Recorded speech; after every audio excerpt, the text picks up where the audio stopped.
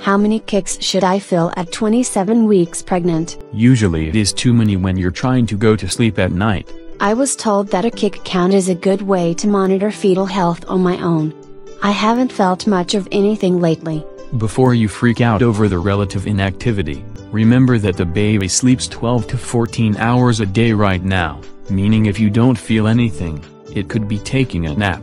Or something is wrong. You can get a more accurate measure by making sure the baby is awake. I don't know if an air horn will have any effect. Drink a cold glass of water to wake the baby up.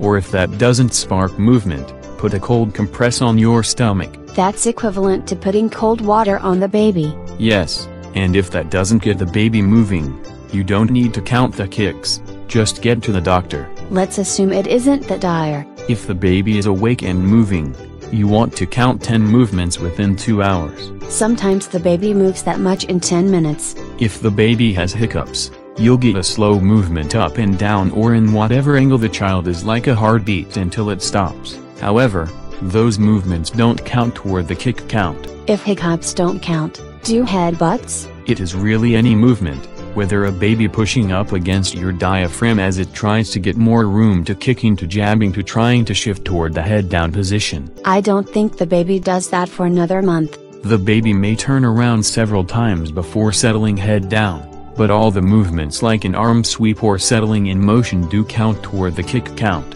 Sometimes it isn't easy to tell what is the baby shifting versus a muscle strain. You should be far enough along not to mistake a baby's movements in amniotic fluid for gas or constipation. I know the difference because gas will pass and constipation won't. You can get a more accurate kick count by laying down on your side.